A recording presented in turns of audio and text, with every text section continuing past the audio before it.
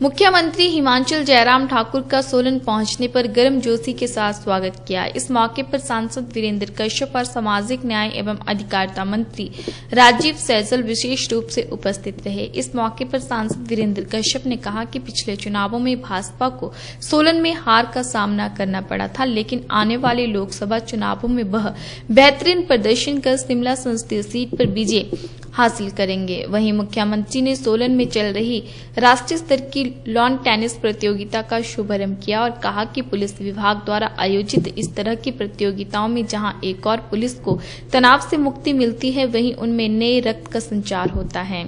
इस मौके पर मुख्यमंत्री ने कहा कि इस बार हिमाचल में बहुत कुछ नया हुआ है और बहुत कुछ नया होने वाला है।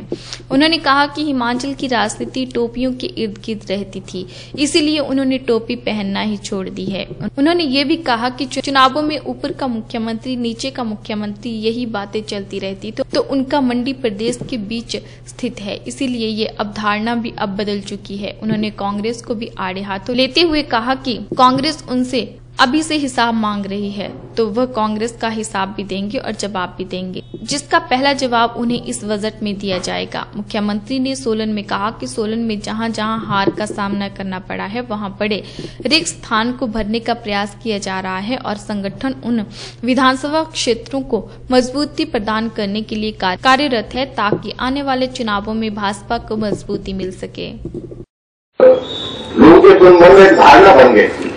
हरी टोपी उनकी लाल टोपी इनकी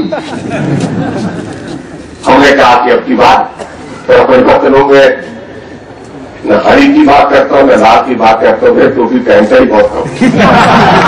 झगड़ा खत्म हो बहुत झगड़े खत्म हुए।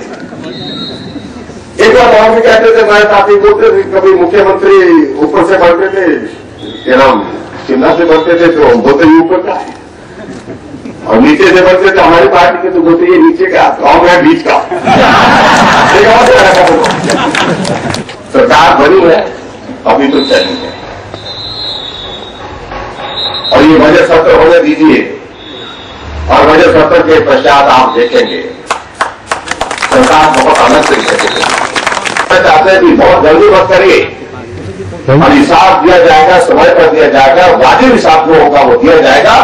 लेकिन उसके साथ साथ में ये भी मैं उनको कहना चाहता हूँ, ये सरकार भी आपकी बात हिमाचल प्रदेश में पाँच वर्ष के लिए नहीं, ये सरकार बनने के बाद फिर सरकार बनाएँगे। लेकिन जहाँ तक सोलन के विकास की अगर बात करें, सोलन जिला के विकास की बात करें, हम इतना ही कहना चाहते हैं, वहाँ कहीं भी कमी आने नहीं देंगे।